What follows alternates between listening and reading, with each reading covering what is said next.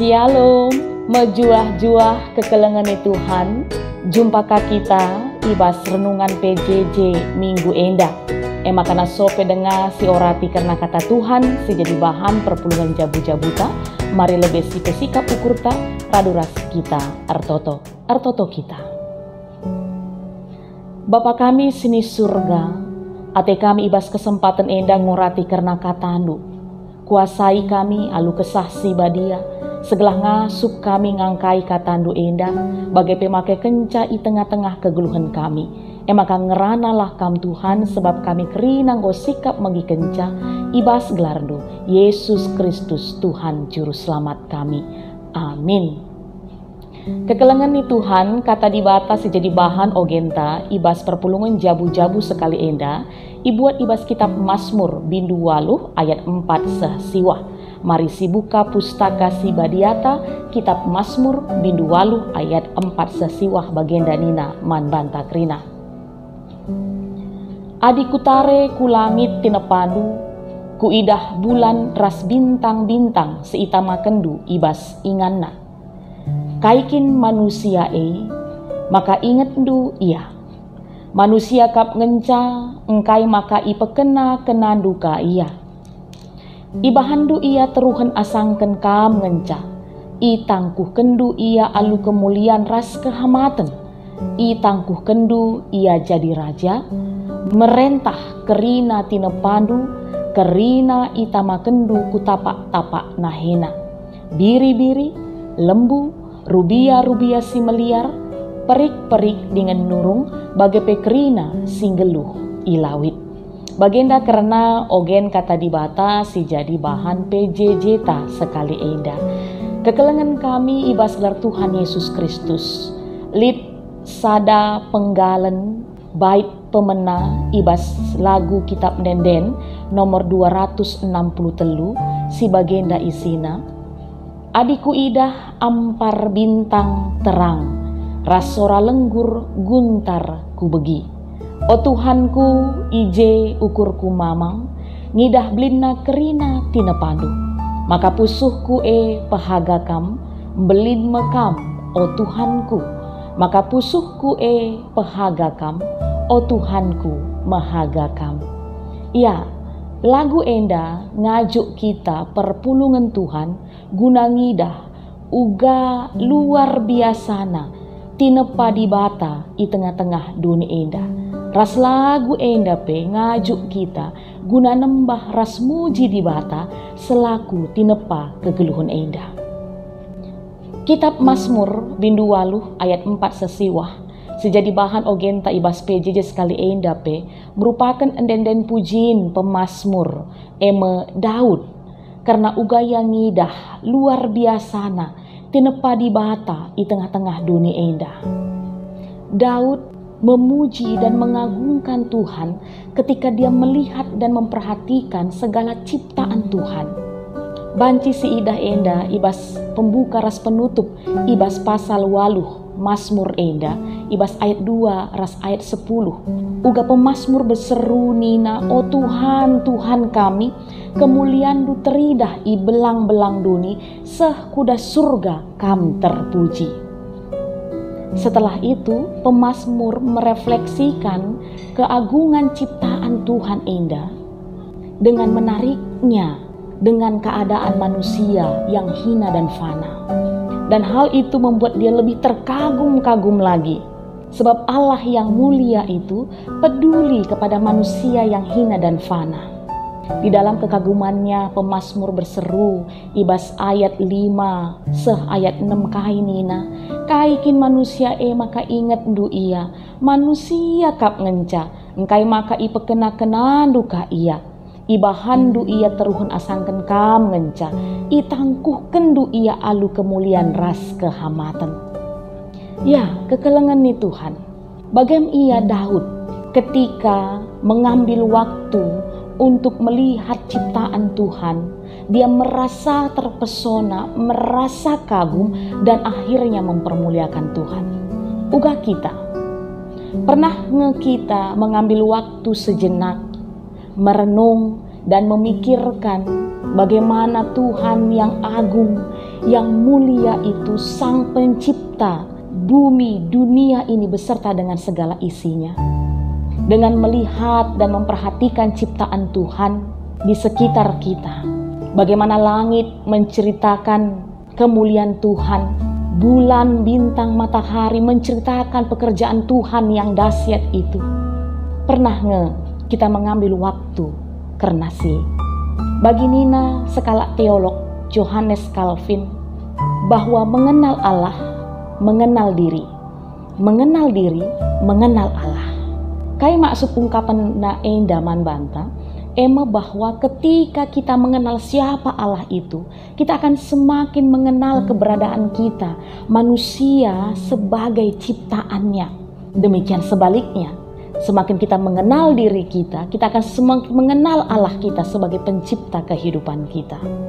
Sehingga tidak ada alasan bagi kita menyombongkan diri dan menganggap Allah itu tidak ada dalam kehidupan ini.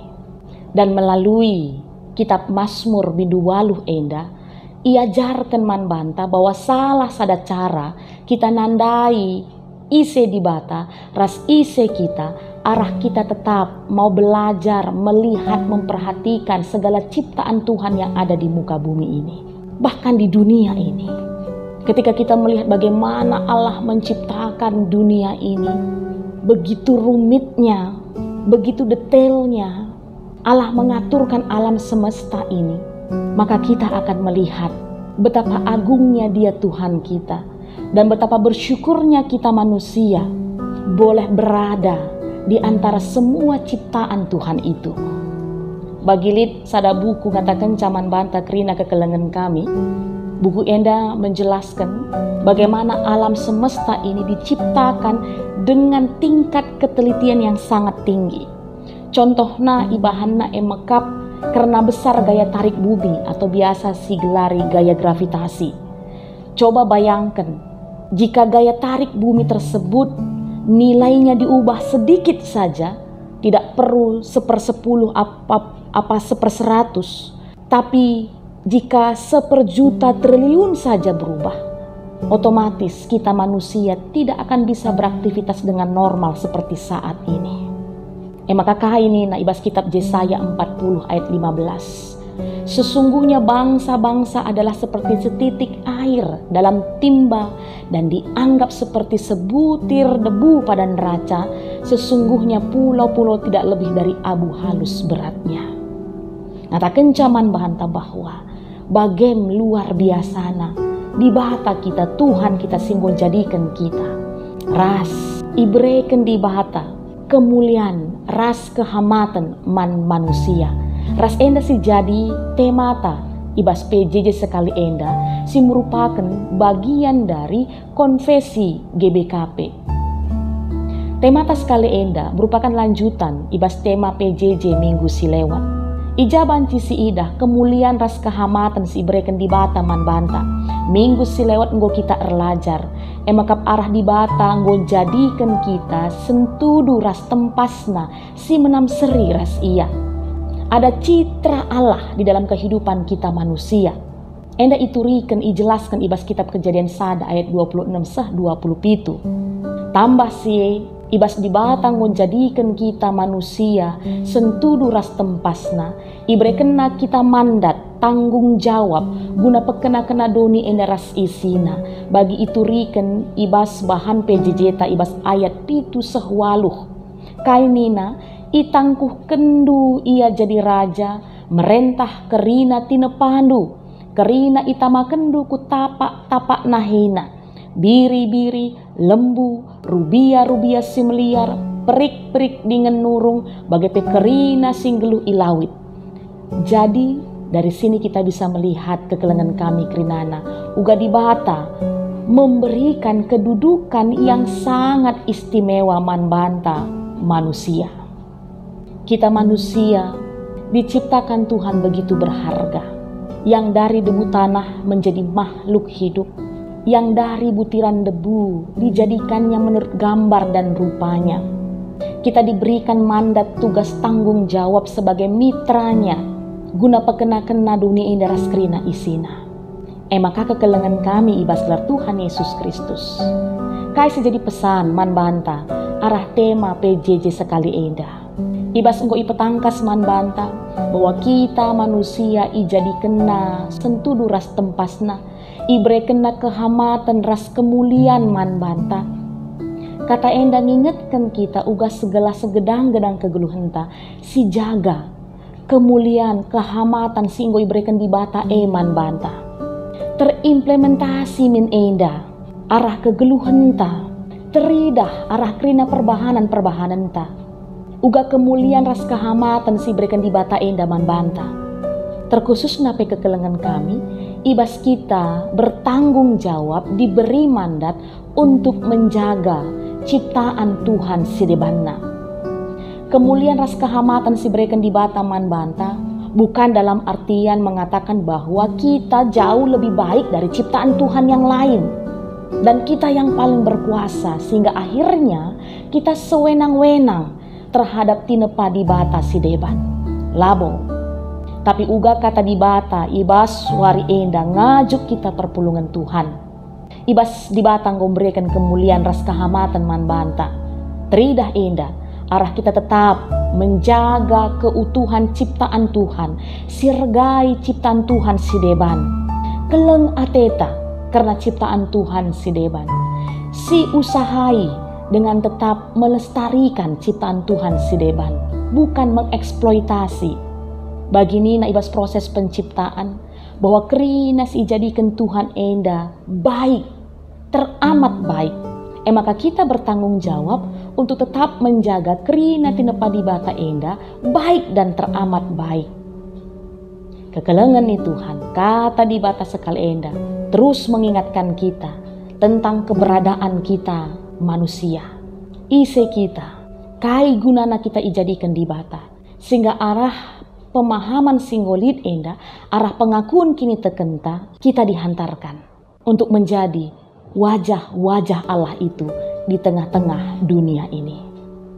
Enda kata di bata, tergunaman banta, kerina, artoto kita. Ikatakan kami bujur man bandu Tuhan. Ibas kami ngaloken katandu ibas suari enda. Ibas perpulungan jabu-jabu kami sekali enda. Tuhan lasi pepankan kata enda kubas pusuh perukuran kami. Ija kami nggo ilayasi karena isekin kami manusia. Guna kaikin kami ijadikan du i tengah-tengah dunia enda. Setelah enda Tuhan teraplikasi i tengah-tengah kegeluhan kami. Tetap terpuji termulia kam Tuhan kami. Arah kegeluhan kami tenepandu manusia.